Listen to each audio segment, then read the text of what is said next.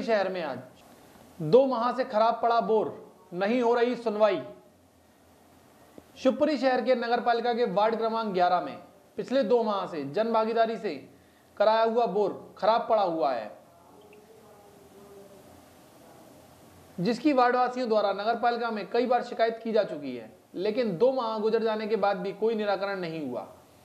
जन सुनवाई में महिलाओं द्वारा दिए गए आवेदन में उल्लेख किया गया है कि नगर पालिका द्वारा करीब डेढ़ माह पूर्व बोर से मोटर व पाइपलाइन निकाल लिए थे और शीघ्र मोटर सही कराकर डालवाने का आश्वासन दिया गया था।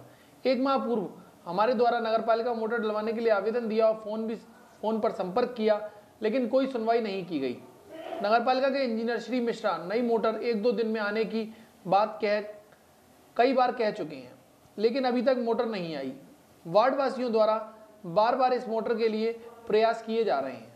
वार्ड वासियों का कहना है कि वार्ड में पानी का एकमात्र स्रोत बोर ही है। बोर के बंद पड़े होने से पानी के लिए दर दर भटकना पड़ रहा है। वार्ड वासियों द्वारा शीघ्र ही बोर में मोटर पाइपलाइन डलवाने की गुहार लगाई गई। संजय चढ़ार की रिपोर्ट।